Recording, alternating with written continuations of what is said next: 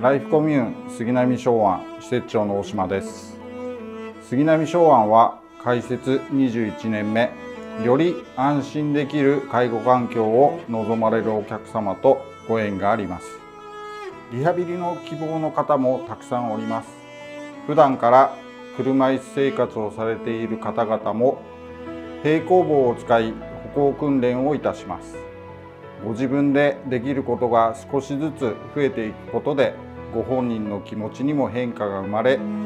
短い時間でもコツコツと繰り返すことにより効果が見えてきます。また考えながら手を動かし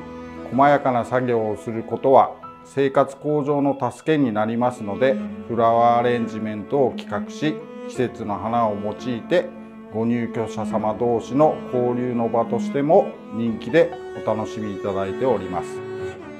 気分転換を兼ねて皆さんでボール投げを行い楽しんでいただいております。杉並昭庵はアットホームな施設です。皆様のお越しを心よりお待ちしております。